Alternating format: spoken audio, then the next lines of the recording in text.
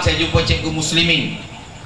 Cikgu muslimin uh, alhamdulillah dengan uh, YB Budiman semalam mereka sebelum ni pun mereka baik kawan baik dan semalam walaupun cikgu muslimin disenaraikan diwawarkan sebagai calon tetapi beliau seorang yang berjiwa besar. Beliau berkata di halayak ramai malah semalam tadi dia jadi pengacara pula di dalam uh, ceramah di uh, uh, tempat beliau. Dan beliau berjanji memberikan sokongan yang tidak berbelah bagi kepada calon kita yang berhormat